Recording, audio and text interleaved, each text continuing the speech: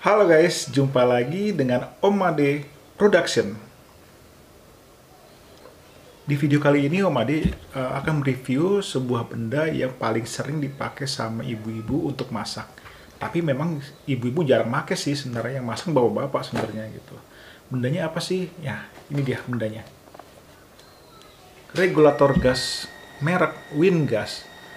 Nah, oke, di sini regulatornya itu regulator yang tekanan rendah ya, tekanan rendah dengan pengunci ganda. Nah, keuntungannya menggunakan produk ini adalah regulator dengan penguncian ganda dan karet seal pengaman, mudah dipasang, hemat gas dan tes kebocoran. Ya, jadi uh, waktu itu tuh Om Ade kan uh, gasnya regulator rusak tuh, gitu. Ini belum dipasang sih, uh, belum dipasang. Terus Om Ade coba cari di toko, dapat nih gitu. Kata kata kokohnya, Pak ini bagus loh Pak produk ini gitu. Om Ade pengen pengen tahu nih, aku kira Om Ade beli ini harganya sekitar 100 ribuan, ya 100 ribuan. Bentuknya seperti ini. Uh, yang pasti kan uh, saya nanya ke kokohnya, kok saya pengen regulator yang tekanan rendah. Nah dikasihnya ini sama dia, Wingas, regulator Wingas. Ya di sini sih uh, ada instruksi pemakaiannya di boxnya ya. Mungkin nggak kelihatan di sini. Nah di sini ada instruksi pemakaiannya gimana. Ya lalu ini regulator dengan, nah ini keterangannya nih tuh, keterangannya. Nah, yang pasti uh, regulator ini sudah SNI standar nasional Indonesia, lalu ada sertifikatnya dari CAN juga, lalu ada base brand dan top brand. Ya kita nggak tahu, tapi mudah-mudahan ini bagus. Ini Wingas regulatornya tipenya W900M. Nanti kita lihat videonya ya. Kita lihat videonya bagaimana cara pemasangannya, bagaimana cara penggunaannya gitu. Ya. Nah, bentuknya seperti ini nih, teman-teman.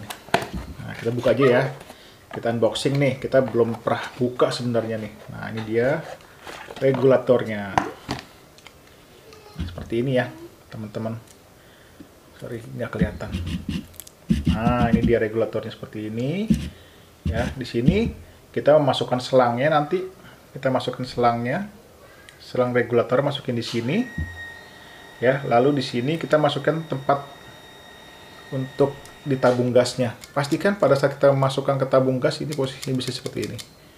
Ya, ini untuk tuasnya. Nah, pada saat setelah kita putar, ini pastikan sudah kencang di bawah sini. Nah, di sini ada ada penahannya juga ya. Bagusnya di sini penahannya. Nah, yang paling unik adalah cara pemakaiannya pas habis dimasukkan, ini ada tuasnya. Tuasnya langsung diturunin ke bawah sini dulu. Nah, turun sini dulu baru kita putar ininya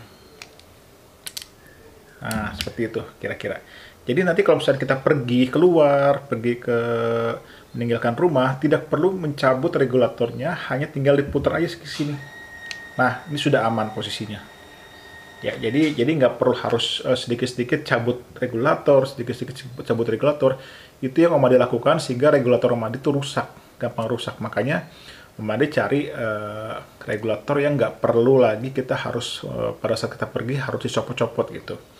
Nah di sini juga ada ukuran nih ya, ada ukuran tekanan gasnya di sini.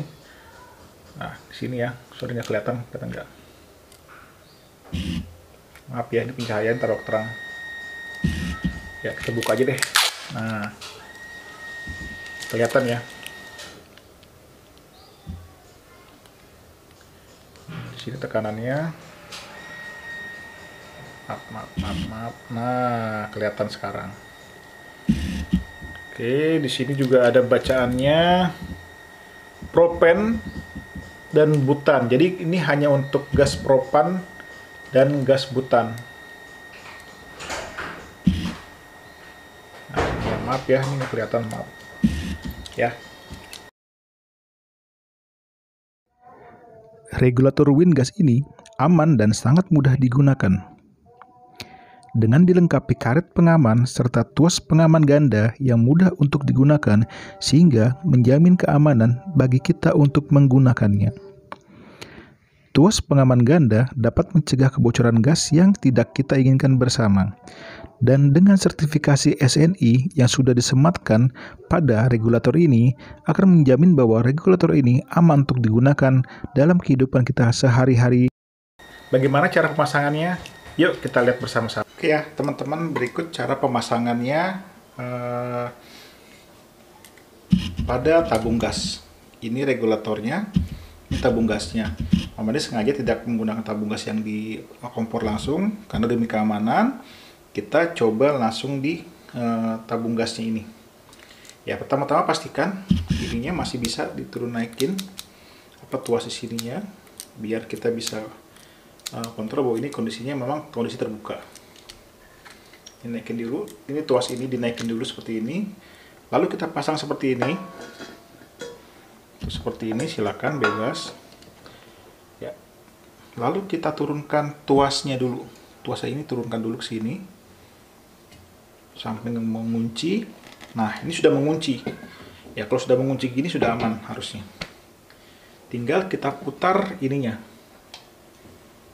Putar tuasnya sehingga gas bisa keluar. Nah seperti ini. Oke. Kalau misalkan kita pergi-pergi kita pergi-pergi eh, kita ke eh, meninggalkan rumah untuk jangka waktu cukup lama cukup tinggal putar ininya tuas ini ke kiri nah jadi kita tidak perlu me, apa namanya tidak perlu kita harus melepas regulatornya seperti itu ya, uh, mudah ya caranya ya. Cara melepasnya pun gampang, dinaikin dulu tuasnya ke sini, baru kita naikin lagi ininya, tuas yang besar ini. Seperti ini. Dan kita copot. Sangat mudah ya, sangat mudah cara penggunaannya. Kita ulang sekali lagi. Pastikan tuas yang ini ke atas, posisi ke atas, dan tuas yang ini masih seperti ini.